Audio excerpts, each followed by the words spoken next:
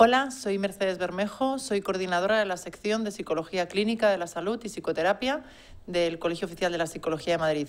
Y hoy vengo a animaros a que participéis en la jornada de psicoterapia de retos de actualidad que tendrá lugar el próximo viernes 6 de mayo en la Facultad de Psicología de la Universidad Complutense de Madrid. Esta jornada de psicoterapia la organiza el Colegio Oficial de la Psicología de Madrid eh, a través de eh, la sección de clínica junto al Consejo General de la Psicología a través de la División de Psicoterapia y también colabora en la organización la Facultad de Psicología de la Universidad Complutense de Madrid, así como la FAPIMPE, que es la Federación de Asociaciones de Psicólogos y Médicos Psicoterapeutas de España.